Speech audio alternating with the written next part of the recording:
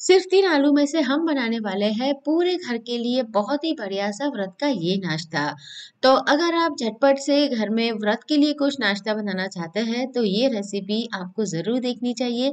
और ऐसी हमेशा नई नई रेसिपी आप लोगों के साथ शेयर करती रहती हूँ तो मेरे चैनल किचन क्राफ्ट रेसिपी को सब्सक्राइब नहीं किया है तो ज़रूर सब्सक्राइब करें। हेलो दोस्तों, मैं हूँ हेतल और किचन क्राफ्ट रेसिपी में आप सभी का बहुत बहुत स्वागत है। तो चलिए, आज की मज़ेदार रेसिपी बनाना शुरू करते हैं। सबसे पहले तो हमें चाहिए यहाँ पर किशमिश। तो यहाँ पर मैंने 12 से 15 किशमिश ले ली है। 10 से 12 मैंने काजू लिए हैं। आधा कप यहाँ पर भुनी मूंगफली है, जिसके छिलके निकाल दिए हैं और थोड़े से मैंने अनार ले लिए हैं। अब मिक्सर जार के अंदर हम हरी मिर्च और अदरक को डालेंगे और उसे ग्राइंड कर लेंगे। तो यहाँ पर मैंने जो हरी मिर्च ली है, वो काफ़ी तीखी है। तो इसे हम पहले बिना पानी डाले ग्राइंड कर लेंगे। तो जब ये ग्राइंड हो जाएगा तो उसके अंदर हम डाल देंगे भुनी हुई मूंगफली, साथ में काजू और दोनों को हमें दर दरा ग्राइंड करना है। बहुत ज़्यादा महीन नहीं पीसना है इसको। तो बस थोड़ा सा इस तरह से चला लेंगे और फिर इसके अंदर डालेंगे हम किशमिश और अनादाना। इस तरह से जब आप मसाला तैयार कर लेंगे ना तो बहुत कम समय में आपका ये नाश्ता तैयार हो जाएगा। ध्यान रहे, आपको इसे दरदरा ही ग्राइंड करना है, बस सिर्फ़ एक बार मिक्सर चलाए तो इस तरह से ये ग्राइंड हो जाएगा। ऐसा करने से क्या होगा कि जो अनारदाना है ना, वो थोड़ा सा ग्राइंड होगा तो उसके अंदर जो भी मॉइस्चर है ना, वो थोड़ा सा निकल आएगा। अगर आप अनारदाना ऐसे ही साबुत डाल देते हैं ना तो जब हम इसे फ्राई करेंगे ना तो कई बार अनारदाना फूटता है तेल के अंदर, और फिर आप को गरम गरम तेल आपके हाथों के ऊपर उसके छींटे भी उठ सकते हैं। तो इस तरह से मसाला तैयार करने से आपका ये नाश्ता बहुत बढ़िया तैयार होगा। तो इस तरह से मसाला तैयार कर लिया है। अब आलू को मैंने उबाल कर पहले ही छोड़ दिया था। तो ये जो मैंने आलू लिए हैं, तकरीबन 250 से 300 ग्राम के करीब है। और आलू को उबाल कर मैंने दो घंटा पहले ही रख दिया था। तो जब भी आपको नाश्ता तैयार करना हो ना तो इस तरह से आलू को उबाल कर ठंडा कर लीजिए। फिर उसे कद्दूकस करेंगे, जिससे इसके कोई भी बड़े चंक्स ना रहे और उसका जो टेक्सचर है ना, वो बहुत ही स्मूथ रहे। क्योंकि हम ये जो नाश्ता बनाने वाले हैं ना, इसे आप फराली पेटीज भी बोल सकते हो।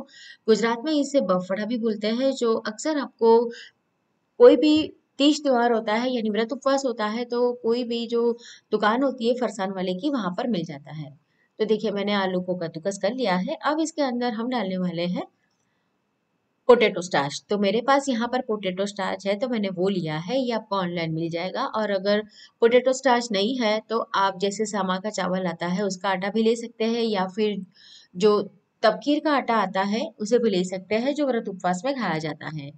आप सिंगाड़े का आटा भी ले सकते हैं बाइंडिंग के लिए। तो मैंने चार बड़े चम्मच इसके अंदर ये पोटेटो स्टार्च मिला दिया है और उसे मिक्स करना है। जैसे हम आटा गूंथते हैं ना, उस तरह से आपको आलू और ये जो पोटेटो स्टार्च है ना, दोनों को अच्छे से मिक्स करना है। ऐसा करने से क्या होगा कि सारा जो मॉइस्चर है ना, आलू का, वो पोटेटो स्टार्च अपने अंदर एब्जॉर्ब कर लेगा और फिर मॉइस्चर काफ़ी हद तक कम हो जाएगा। लेकिन आपको इसे बहुत अच्छे से मिक्स करना है, जैसे आटा गूंथते ना उस तरह से, उसका टेक्सचर बढ़िया रहना चाहिए। अगर ये अच्छे से मिक्स नहीं होगा तो जब इसे हम फ्राई करेंगे ना तो हो सकता है कि वो फट जाए।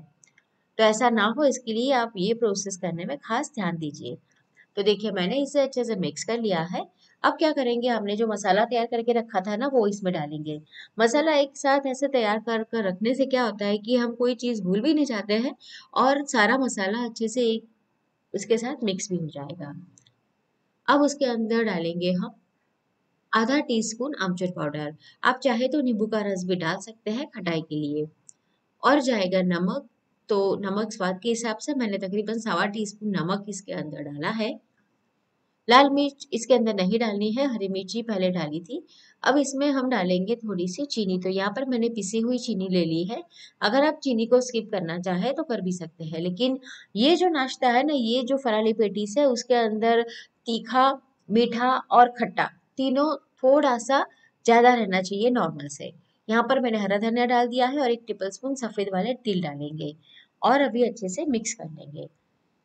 तो ये फराली पेटीज खाने में बहुत बढ़िया लगती है। व्रत उपवास है, घर में सबके लिए कुछ बनाना है नाश्ता तो झटपट से तैयार हो जाती है। बस सिर्फ़ आपको क्या करना है, आलू को उबाल कर ठंडा कर लेना है। जब आलू आपके पास रेडी है, तब तो आप 10 से 15 मिनट में ये नाश्ता तैयार कर सकते हैं, बहुत बढ़िया लगेगा। तो मिक्स करेंगे इसे।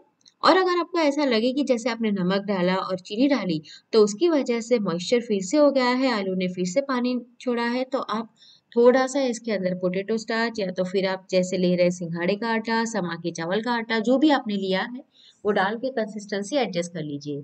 फिर हाथों को तेल से चिकना करके इस तरह से इसके गोले तैयार कर लीजिए।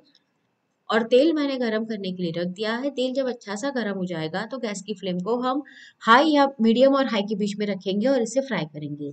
अगर तेल आपका ठंडा होगा ना तो क्या होगा कि जब आप इसे फ्राई करने के लिए रखेंगे ना तो जल्दी से फ्राई नहीं होगा और उसकी वजह से हो सकता है कि फट भी जाए। तो पहले आप गैस को अच्छे से, मेरा मतलब है तेल को अच्छे से गरम कर लीजिए और फिर उसकी फ्लेम को मीडियम या फिर मीडियम हाई के बीच में रखें और इसे फ्राई करें। क्योंकि आलू तो हमने वैसे ही पका कर लिया है तो इसे फ्राई होने में ज़्यादा समय नहीं लगेगा और आपको इसे मीडियम या मीडियम हाई के ऊपर ही पकाना है ताकि बहुत बढ़िया से क्रिस्पी हो और उसके अंदर ज़्यादा मात्रा में तेल भी ना एब्जॉर्ब हो। और ये फटे भी नहीं। तो बस, ये सारी चीज़ें आपको ध्यान में रखनी है।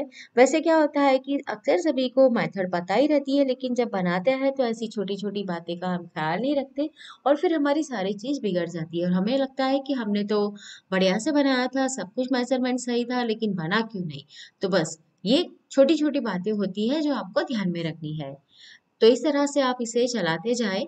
आप इसे ऐसे ही ना छोड़ दें, जब ये एक साइड से फ्राई हो जाए ना, तब आप इसे उलटते पलटते हुए फ्राई करें, ताकि उसका जो कलर है ना, वो एक जैसा ही रहे। नहीं तो क्या होगा कि नीचे की ओर से ये डार्क हो जाएगा, ऊपर से लाइट रहेगा तो आप इसे चलाते जाए, ताकि हमारी जो पेटीस है ना, उसका कलर एक जैसा ही सभी जगह से हो। मतलब ऐसा नहीं कि कहीं डार्क है, कहीं लाइट तो बस देखिए, हमारी ये जो फराले पेटीस है, अभी फ्राई हो चुकी है, और इसे मैंने फ्राई करने में चार से पाँच मिनट का समय लिया है।